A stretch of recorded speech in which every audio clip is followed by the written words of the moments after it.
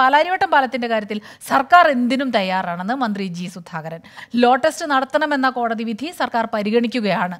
പാലം പൊളിക്കേണ്ടെങ്കിൽ അതിനും തയ്യാറാണെന്ന് മന്ത്രി പറഞ്ഞു.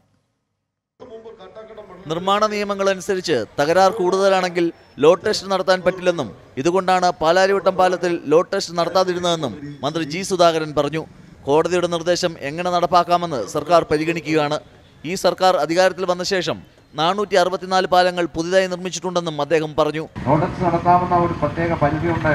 ആ പരിധിക്കുള്ളിലാണ് വിടമെങ്കിലേ നടത്താവൂ. ഇല്ലെങ്കിൽ നടത്തരുതെന്നാണ് ഞാൻ വായിച്ചു നോക്കി. അതിന് പരിധിക്കപ്പുറം അവിടെ നടത്തണമെന്ന് പറഞ്ഞത്. ബഹുമാനപ്പെട്ട ജഡ്ജിമാർ പറഞ്ഞു നടത്തണം ആയിക്കോട്ടെ.